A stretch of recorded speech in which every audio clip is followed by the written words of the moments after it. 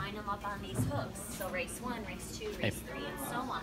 So that the valets can come by. Oh, my jockey's the two horse in the first race. Let me grab those silks. Oh, my jockey's the eight horse in the second race. Let me grab those silks. And just get what they need for the day. You can see some are still here. These are actually some of my favorite silks because I just think they're so pretty.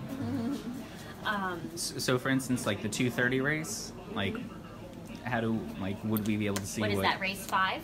I think? Um, race four? I don't know. It's I think it's race five. Okay. So as you can see, most of them are gone. Only two are left. So that would be like the second horse is going to be the jockey for the second horse is going to wear Yeah. that So one. these are the yeah silks, and they're the house silks. So for whatever reason, we don't have the silks of the owner here. So they're our Gulfstream Park silks, which every track has a set of house silks, so that there's something the jockey's not going out without something on. Bareback, right? Yeah. Um, so yeah, that's the fifth race. Um, you can see later on in the day they're still here.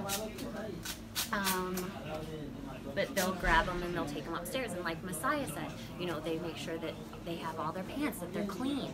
There's, I don't know if you noticed the industrial washers and dryers in there, so they can do big loads of laundry quick. Um, they'll take everything upstairs, start sorting it.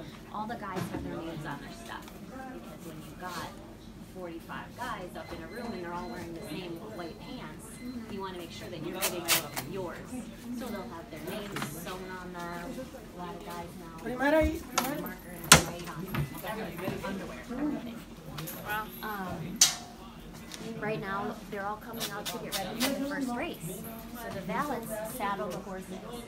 As they come over, they're gonna take a saddle, the one that they've been assigned to for each race, and go out there and saddle the horse. So they use a saddle towel, saddle, the pad, jockey's underweight. The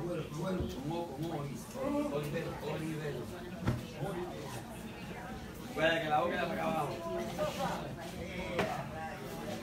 Un día viene